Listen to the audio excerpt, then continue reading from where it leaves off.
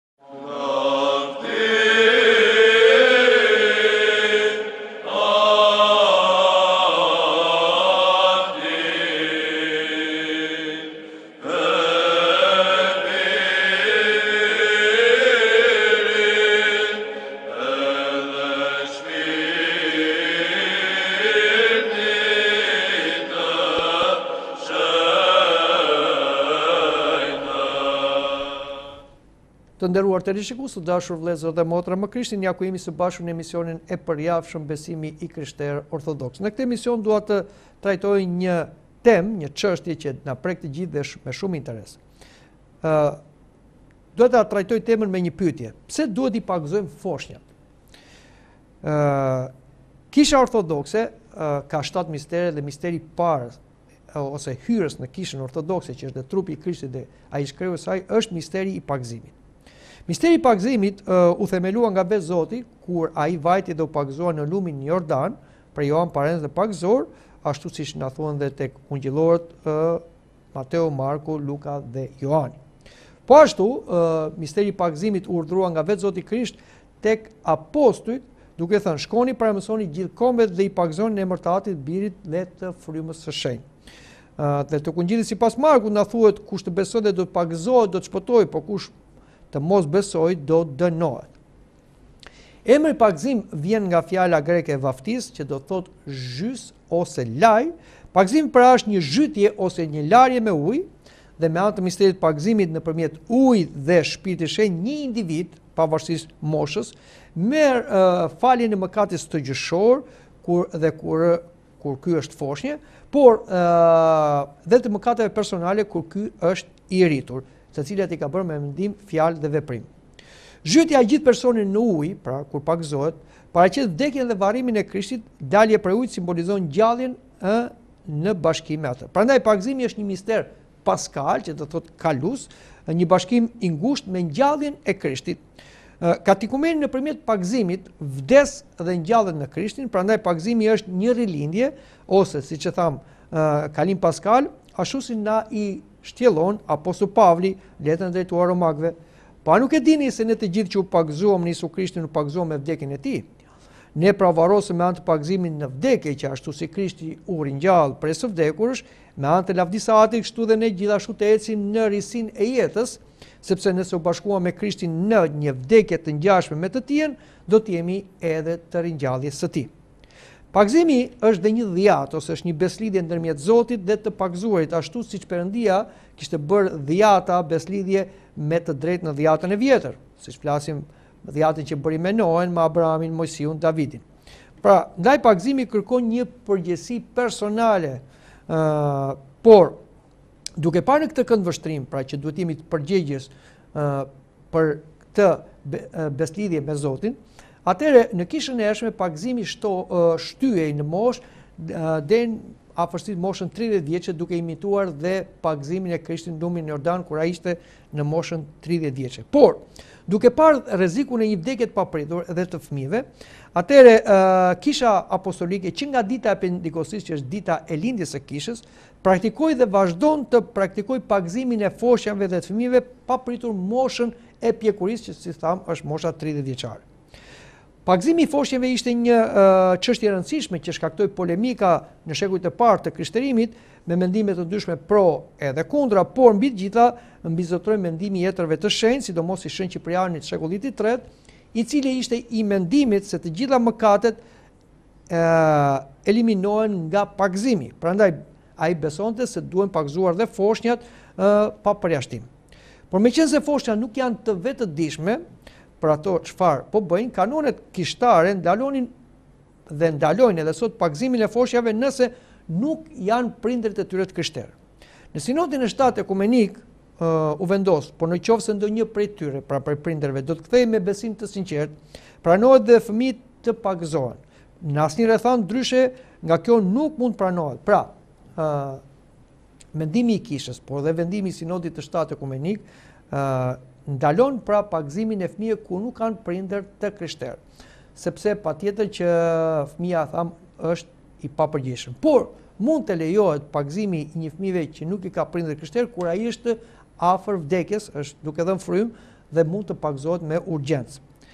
Në raste të tjera, kur fëmija është i shëndetshëm dhe ka jetë, ai nuk mund pagëzohet, derisa prindërit e tij të bëhen të krishterë, të pagëzohen. Këtu flasim kur është foshnjë, kur është fëmijë, kur ai rritet, pavarësisht se mund mund t'i ketë prindërit jo të krishterë, ai merr vendime vetë personale dhe pagëzohet. Shën Grigor Theologu këshillonte nënat e krishtera, a keni një fëmijë, mos lini kohën e, e të keqes të rritet, mos lini kohë të keqes të rritet, le të shenjtërohet ai në foshnjëri qysh në qysh që fëmijë t'i kushtohet frymës, apo mos i trembeni vulës nga shkaku i dobësisë së natyrës, Ana, sapo lindi Samuelin, ia premtoi Zotit dhe menjëherë mbas lindjes e përkushtoi atë dhe e rriti për robën e shenjtë, pa patur frikë nga dobësia njerëzore, por duke besuar në Perëndinë. Pra, Shën Grigor Theologu, i cili vetë ishte i pagëzuar në moshë të madhe, ai këshilon të nënat që të pagëzonin fëmijët e tyre, foshnjat e tyre, që mos t'i jepnin kohë të rritet e keqja. Për çfarë të keqe po flet? sepse ne themi që fëmija s'ka mëkat. Por, ka mëkatin stërgjyshor, mëkatin e Adamit dhe Evës. Jo mëkatin personal të Adamit dhe Evës, por sëmundjen e mëkatit, prirjen për mëkat që ne e marrim që në ngjizje. Prandaj, të gjithë vim me këtë mëkat, edhe fëmijët që nuk kanë mëkate personale. Dhe në qoftë se ky mëkat nuk largohet, që kur jemi foshnje fëmijë, atëherë ky mëkat që është brenda nesh në psikikën tonë dhe në gjithë qenien tonë, atëherë na nxit për mëkate të tjera personale. Kështu që, si themi, është më lehtë të mëkatosh se sa të bësh mirë, sepse kemi mëkatin stërgjyshor. Prandaj dhe Shën Grigor Theologu këshillonte që, që në fëmijëri, që në foshnjëri të largohet mëkati stërgjyshor me anë të pagëzimit, që kështu të mbushej me shpirtin e shenjtë fëmija dhe të rritej drejtë, dhe t'i përkushtoheshe Perëndisë, ashtu siç kemi edhe rastin siç e përmendëm ku Shën Ana lindi në moshë të madhe, që një grua shterpë lindi djalin e saj Samuel dhe ia premtoi Zotit dhe ia përkushtoi Zotit që në moshën 3 vjeçe dhe pastaj ai u bë prift dhe gjyqtar i popullit të Izraelit. Por vetë Zoti i urdhëroi prindërit e fëmijëve, i lini fëmijët e vegjël të vijnë tek unë dhe mos i pengoni, sepse e tyre është mbretëria e Perëndisë. Vajtja tek Zoti bëhet nëpërmjet pagëzimit, që është kusht shpëtimi për të gjitha moshat, sepse kur nxënësi i fshehtë i Krishtit Nikodimi e pyeti Zotin dhe i tha, si mund të shpëtojë njeriu? Atëherë Krishti iu përgjigj. Në të vërtetë, në të vërtetë po them Kush nuk ka lindur nga uji dhe nga fryma nuk mund të hyjë në mbretërinë e Perëndisë. Ç'ka lindur nga mishi është mish, por ç'ka lindur nga fryma është frymë. Mos u mrekullo që të thashë duhet të lindni përsëri. Pra, Zoti Jezu Krisht mëson Nikodemin, i cili ishte një një skrib, pra ishte një njeri i ditur, por ai nuk e kuptonte si do të shpëtohej njeriu. Njeriu nuk do shpëtohej thjesht nga zbatimi i ligjit, sepse ai nuk e zbatonte dot, por nga misteri i pagëzimit me anë të ujit dhe të shpirtit. Dhe kjo është rilindja, ë? Dhe ky është kusht për të gjithë njerëzit, ë, dhe për të gjithë moshat. Edhe apostujt mësuan të njëjta gjëra mbi detyrimin e pagëzimit. Apostull Petro, ditën e Pentikostisë, i mbushur me shpirtin e shenjtë, u predikoi dëgjuesve të mahnitur ë, nga çudia e gjuhëve të ndryshme, duke thënë këto fjalë. Atëherë Petro u tha atyre, Pendohuni, dhe gjithsecili prej jush le të pagëzohet në emër të Jesu Krishtit për ndjesën e mëkateve dhe do të merrni dhuratën e Frymës së Shenjtë, sepse premtimi është për ju, mbi bijtë tuaj dhe mbi të gjithë ata që janë larg, sa ka për t'i thirrur Zoti, Perëndia ynë. Dhe me shumë fjalë të tjera dëshmonte dhe i nxiste ata duke thënë, Shpëtoni nga ky brez i mbrapshtë! Ata pra që pritën me gëzim fjalën e tij u pagëzuan dhe atë ditë u shtuan rreth tre mijë shpirtë. Pra, shikoni se Apostull Petro në ditën e Pentikostisë që e thamë është dhe ditëlindja e kishës, ai nxiti turmat që kishin ardhur për të dëgjuar dhe të mrekulluar se si apostujt flisnin në gjuhë të ndryshme, lajmin e shpëtimit në Krishtin, ai nxiti jo vetëm prindërit, por edhe fëmijët e tyre që të pagëzoheshin. Edhe Apostull Pavli na thotë për rëndësinë e madhe të pagëzimit ë që është kush shpëtimi të shpëtuar jo prej veprash drejtësie që kryem ë që kryem ne po sipas përdëllimit të tij na shpëtoi, me anë të larjes së rilindjes dhe me anë të përtëritjes së Frymës të Shenjtë. Pra, apostull Pavli thotë edhe kombeve, ne nuk jemi shpëtuar nga veprat, si ishin veprat e ligjit të Dhiatës së Vjetër, por dhe çdo vepër të mirë që mund të bëjë njeriu, por jemi të shpëtuar me anë të misterit të pagëzimit, me anë të ujit dhe të shpirtit të shenjtë.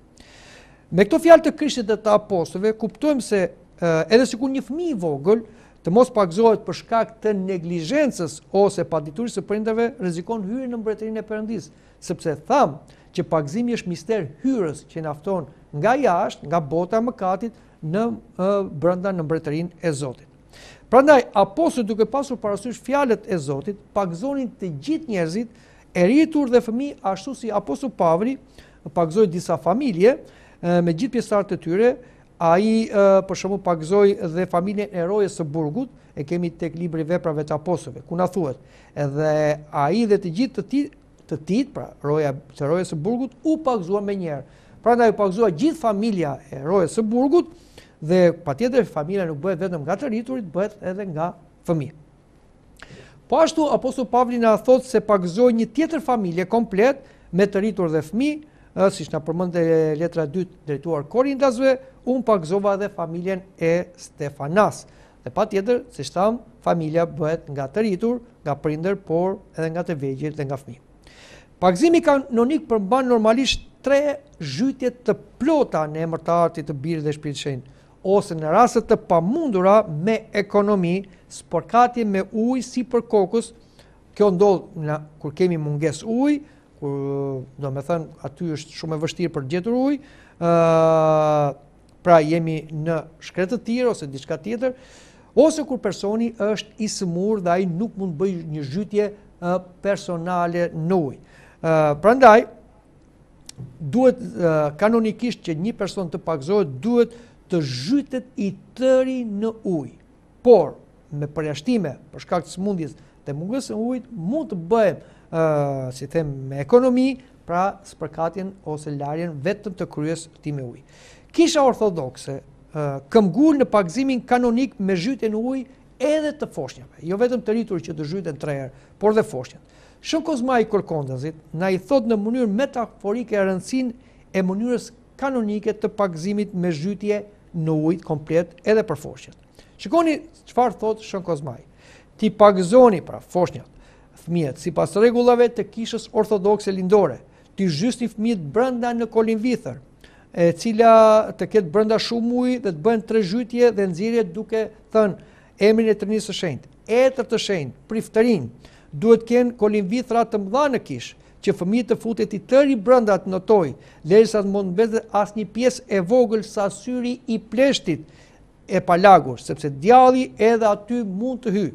Dhe vazhdon shenjtori na thotë, ndaj dhe fëmijët demonizohen, kanë frikë, bëhen fatzinj ngaqë nuk janë të mirëpagëzuar, pra që nuk janë zhytur të tërë në ujë. Misterin e pagëzimit në kishën tonë ortodokse e kryen vetëm prifti ose episkopi, por në mungesë dhe në raste të veçanta kur rrezikohet të vdesë personi që dëshiron të pagëzohet fëmijë ose i rritur, mund ta kryejë pagëzimin dhe një laik i krishterë ortodoks që ndodhet aty pranë duke i hedhur ujë në kokë foshnjës ose të rriturit dhe duke thënë formulën e pagëzimit, pagëzohet shërbëtori i Perëndisë në emër të Atit, të Birit edhe të Shpirtit të Shenjtë. Juve e dini për shembull formulën e pagëzimit që ishte përkthyer në shqip, që mbahet si një nga përkthimet e para nga greqishtja në shqip në kohën e Gjergj Kastriot Skënderbeut, kur ushtria shkonte në luftë, për arsye që nuk mund të bëhej një shërbesë e mirëfilltë, atëherë u përkthye kjo formulë që e mësonte populli dhe pagëzoheshin edhe fëmijët ose të rritur papagëzuar të cilët donin një pagëzim të menjëhershëm, pra pagëzohet shërbëtori i Perëndisë në emër të Atit, të Birit dhe Shpirtit të Shenjtë. Por, nëse personi i pagëzuar do të jetojë, pra nuk është në uh, kthehet mbas pagëzimit, misteri i pagëzimit duhet të plotësohet nga një prift ortodoks në shërbesën e pagëzimit dhe në misterin e mirosjes.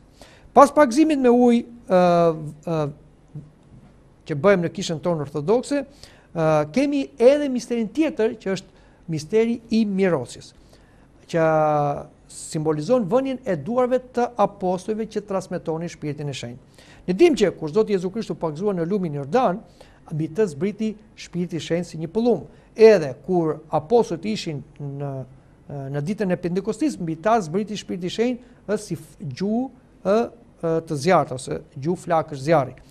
Po e njëjta gjë përsëritet sa që ne pagëzohemi me ujë dhe pastaj edhe me shpirtin e shenjtë, sepse neve pastrohemi nga mëkati dhe kjo simbolizohet me zhytjen në ujë, por mbushemi dhe me shpirtin e shenjtë që vjen tek ne ashtu si erdhi te Krishti si një pëllumb ose tek apostujt si gjuhë Zjarri. Në Kishën Ortodokse ne kemi një shërbesë të vetme me dy mistere. Misteri i parë është pagëzimi, që është pastrim, ndriçim dhe shenjtërim, dhe kemi dhe misterin e mirosjes që mbushemi me shpirtin e shenjtë që na vulos dhe na tregon krishtër dhe bij të adaptuar të Perëndisë.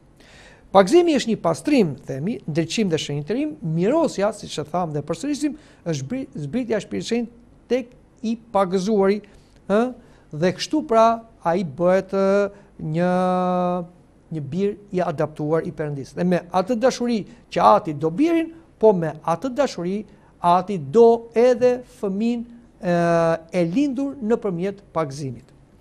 Mirosja është një dhuratë hireve të shpirtit shenjtë që jepet të sapopagëzuarit si përsosje vulosje dhe birësim. Kisha ortodokse e kryen këtë mister hirdhënës menjëherë thamë mbas pagëzimit, ashtu siç vepronin dhe apostujt. Për shembull, në librin e veprave të apostujve na flitet, të cilët zbritën e u lutën për ata që të marrin frymën e shenjtë. Dhe si vuri Pavli duart mbi ta, erdhi fryma e shenjtë mbi ta dhe flisnin në gjuhë e profetizonin. Prandaj kisha ortodokse nuk i ndan këto dy mistere, siç ndodh në një kishë tjetër heterodokse, por e pagëzon fëmijën ose të rriturin dhe pastaj e miros brenda një shërbese ku kryen dy mistere.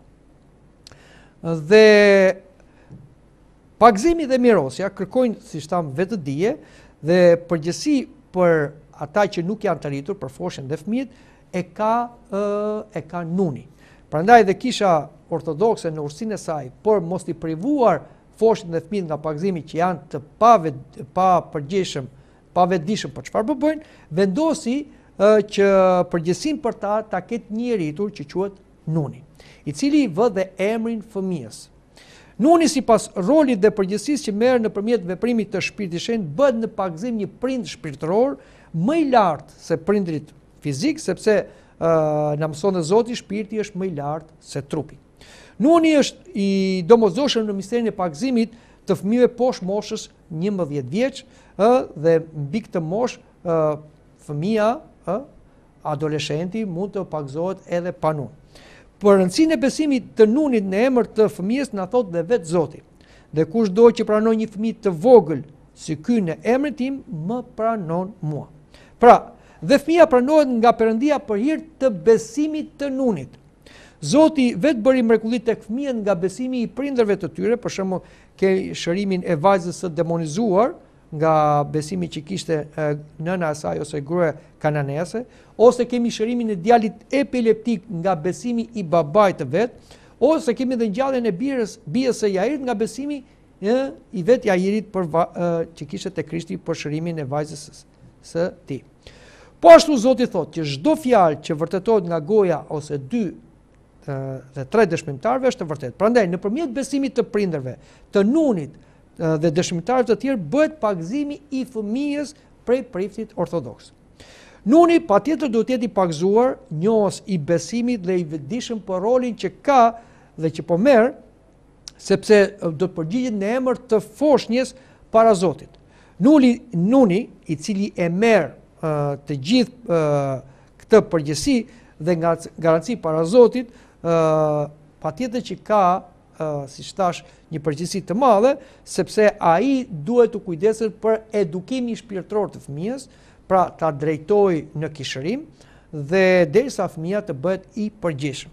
Këtë rol e kryen nuni, prandaj nuk mund ta bëjë nunin çdokush dhe duhet të jemi të kujdesshëm kur për fëmijët tanë që duam t'i pagëzojmë dhe të zgjedhim një nun. Patjetër që nuk mund ta marrim nunin thjesht se e njohim, kemi një miqësi, por duhet të marrim një nun që do ta njohim patjetër, por të jetë besimtar, të jetë një njeri që e njeh besimin, një njeri i kishëruar, një njeri që kryen vetë misteret, jo thjesht ë një traditë familjare ku nuni nuk di për vete çfarë është Zoti, ë nuk di ë, për vete çfarë është kisha dhe thotë disa fjalë përmendsh dhe kjo është një dëm për vetë atë që e merr këtë përgjegjësi, por dhe për fëmijën i cili nuk do ketë kujdes për mirërritjen e tij shpirtërore sepse nuk do ketë përkujdesje nga nuni sepse nuni nuk do ketë lidhje me fëmijën ose nuni nuk di ta mësojë fëmijën. Prandaj të dashur më Krishtin duhet ta zgjedhim nunin. Ë çdo nun do përgjigjet përpara gjykatores së Krishtit për humbjen e shpirtit të fëmijës nga pakujdesia e tij, nga padituria e tij. Prandaj është një përgjegjësi e madhe e nunit Dhe kemi një rast kur vetë Shën Paisi flet për një nga përvojat e jetës së tij. Shikoni çfarë thotë. Nuni ka përgjegjësi të madhe.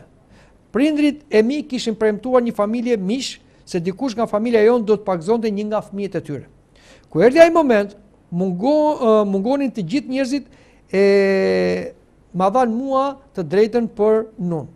Unë isha 16 vjeç dhe nuk doja të, ta pagëzoja sepse e dija mirë përgjegjësinë që do të kisha. U vura në pozitë vështirë dhe bëra këtë lutje. Perëndia im thashë, nëse ky do të bëhet një njeri i mbarë, pra ky fëmijë, merr nga unë vitet e jetës dhe jepja këtij. Por nëse do të bëhet njeri i keq, merre që tani që është engjëll. E pagëzova me emrin Pavel. Mbas një jave ai vdiq, në që tani ai është i sigurt. Pra, shikoni se si Shën Pais Agjioriti nga përvoja e jetës së tij na tregon përgjegjësinë që ka një nun. Prandaj kur do të marrim rolin e nunit, patjetër që është një gjë e bekuar dhe duhet ta bëjmë këtë sepse duhet të bëhet dikush nun, por duhet ta zgjidhim nunin dhe vetë nuni duhet të zgjedhë veten e tij dhe të ketë parasysh përgjegjësinë. Dhe gjëja e parë dhe përditshme që duhet bëjë nuni para se të përmendi fëmijët e tij dhe veten e tij, ai duhet të përmendi ata që është ka pagëzuar që është bërë nun, sepse ata janë përgjegjësia e tij dhe janë, si them, një përgjegjësi më e madhe se fëmijët e tij biologjikë. Kështu që gjëja e parë, nuni duhet lutet çdo ditë për fëmijët që ka pagëzuar. Dhe duhet patjetër të ketë kontakte me prindit e fëmijës t'i nxiti ta sjellin në kish, ta kontaktojë fëmijën, ta edukojë fëmijën, dhe derisa fëmija thamë të rritet dhe pastaj ka të drejtë të zgjedhë, të vazhdojë në rrugën e besimit dhe mund të mohojë. Disa heretikë thonë se fëmijët janë të shenjtë dhe nuk ka nevojë të pagëzohen dhe për këtë përmendin fragment nga fragment nga letra e apostull Pavlit drejtuar Korintasve që thotë sepse burri jobesimtar është shenjtëruar me anë të gruas dhe gruaja jobesimtare është shenjtëruar me anë të burrit sepse ndry, përndryshe fëmijët do të ishin të papastër kurse kështu janë të shenjtë.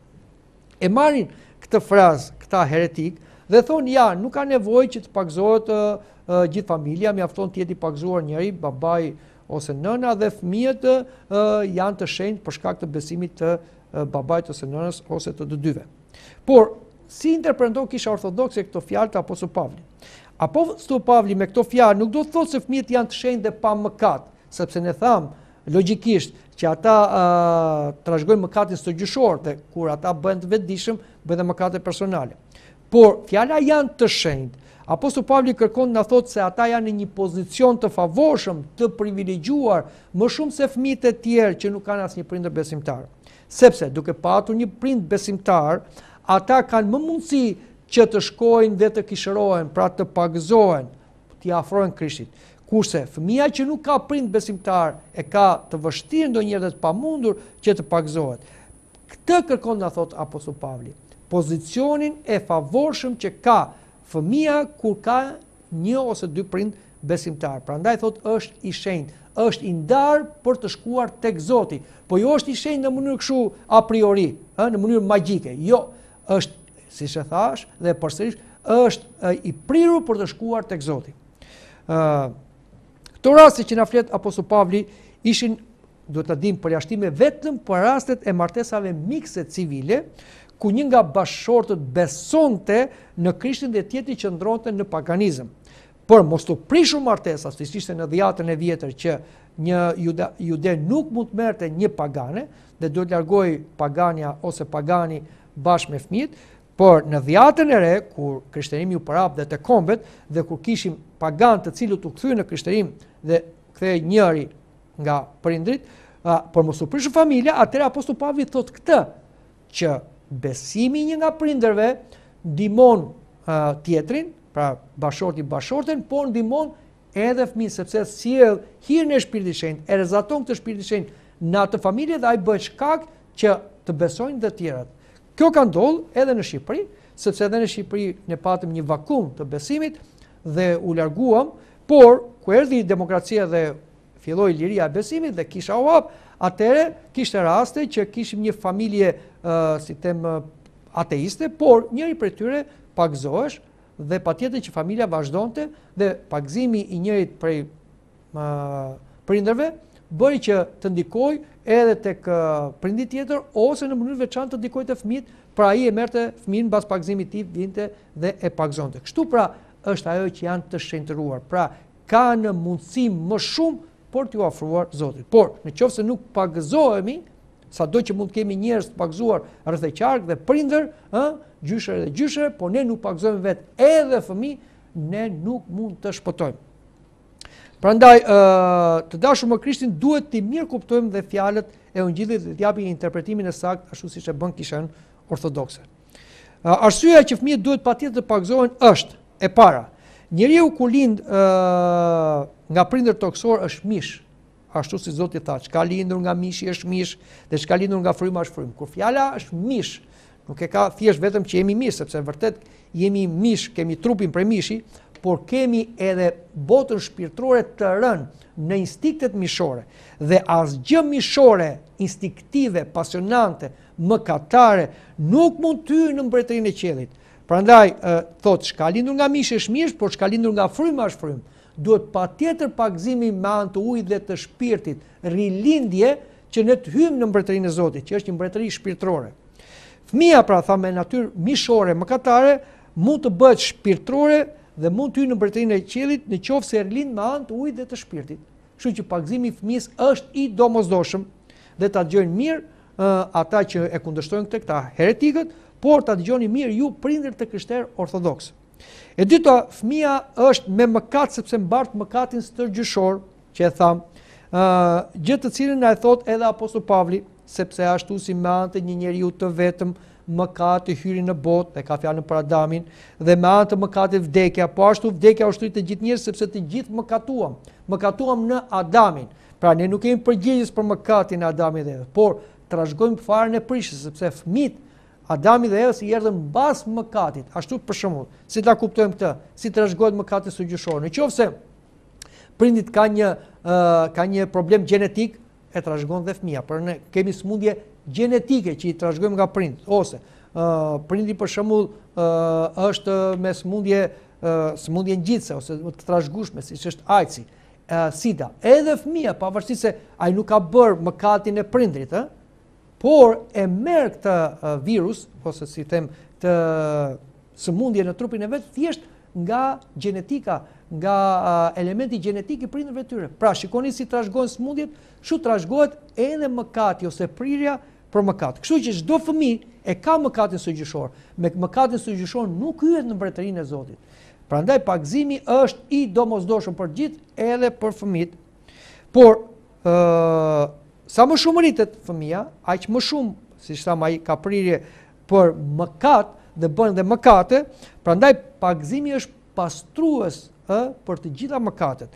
Sepse siç thuhet edhe tek letra drejtuar romakëve, nuk ka asnjeri të drejtë, as edhe një. Dhe kur flet aty, flet për të gjithë, nga fëmijë te të rritur.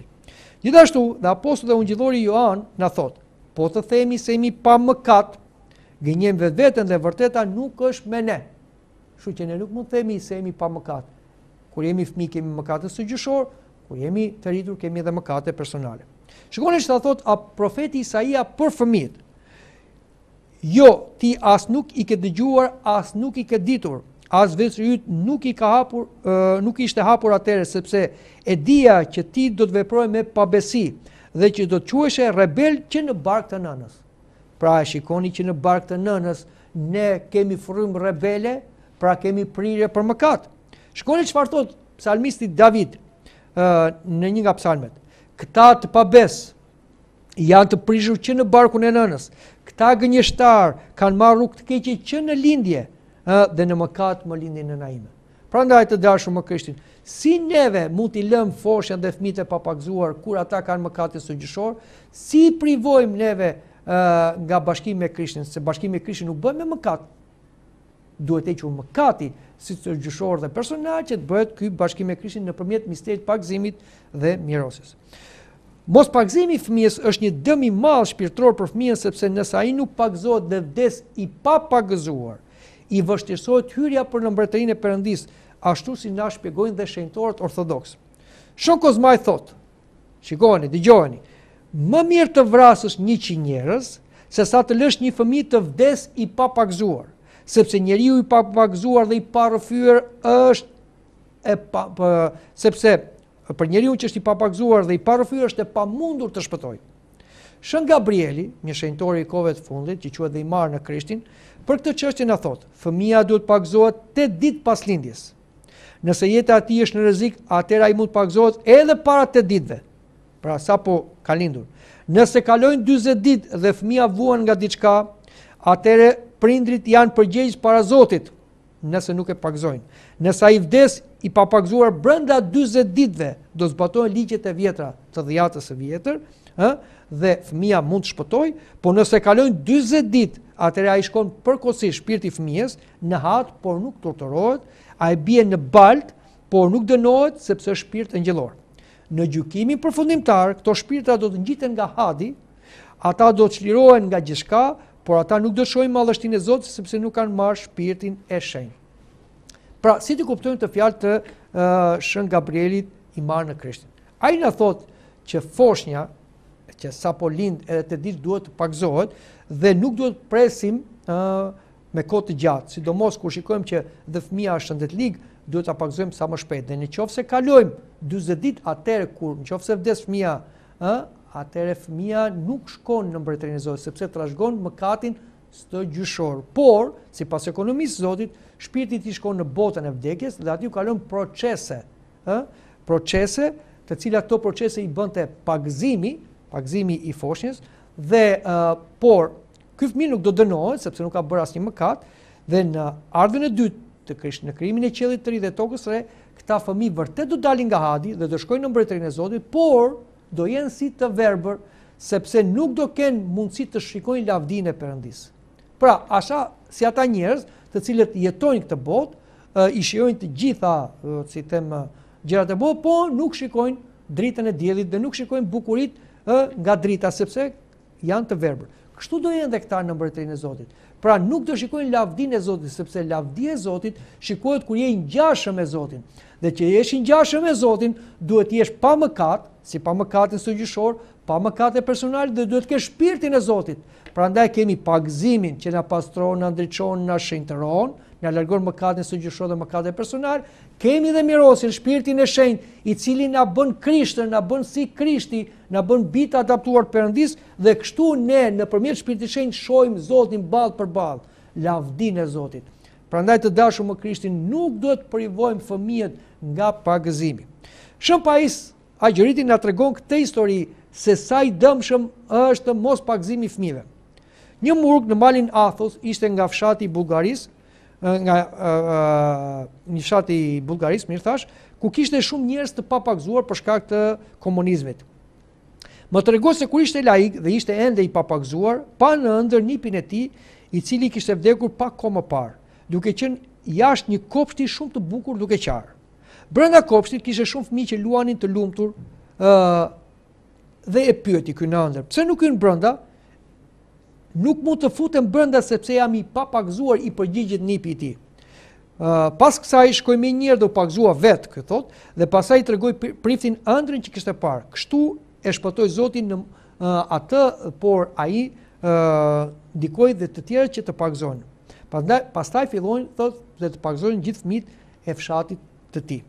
Pra shikoni të dashur më Krishtin se mospagëzimi i një fëmije e privon atë nga mbretëria e Perëndisë. Pra ai nuk vuan vuajtjet e e botës së vdekjes, por privohet, nuk mund të hyjë në gëzimin e Zotit. Pra siç e kishte parë në ëndërr edhe ky murg që ishte në malin Athos dhe ia kishte treguar Shën Pais Agjioritit. Jo vetëm fëmija rrezikon të hyjë në mbretërinë e Zotit nëse vdes i papagëzuar, por edhe nëse ai jeton i papagëzuar përsëri është i rrezikuar nga shumë de, uh, rreziqe, siç janë demonët, nga syligët, nga magjistrarët, nga kafshët, aksidentet, sëmundjet, sepse është pa mbrojtje, është njësoj si një qingj i vogël i braktisur uh, nga kopeja, edhe këtu po flasim kopenë shpirtërore besimtarët, nga vatha që po flasim për kishën dhe nuk është me bariun e madh të dhenve që është vetëm Zoti Jezu Krisht. Kështu që ky fëmijë është i rrezikuar Shumë herë prindërit ankohen që fëmijët e tyre i kap syri, fëmijët e tyre nuk kanë shëndet, janë shëndetlig, ë ose pësojnë aksidente. Pse? Janë pa mbrojtje, janë pa angjëll rojtar, se janë të papagëzuar. Dhe kjo është përgjegjësia e prindit. Ë tregoj një një rast se si një mbret ë që kishte në oborrin e tij dhe një prift, dhe ishte një prift i shenjtë, mori vesh pra mbreti se fëmija e tij ishte në agoni ishte duke vdekur. Por fatkeqësisht fëmija nuk ishte pagëzuar për disa arsye. Atëherë lajmëroi menjëherë priftin duke thënë se fëmija po vdes. Prifti u ngrit menjëherë dhe duke ikur për në kishë filloi shërbesën e pagëzimit, ë dhe kur shkoi e gjeti fëmijën të vdekur. E mori fëmijën e vdekur dhe shkoi në altar para Zotit dhe i tha Zotit, Zot, Unë e fillova shërbesën para se fëmija të vdesë, prandaj ma kthe ta mbaroj pagëzimin dhe merre.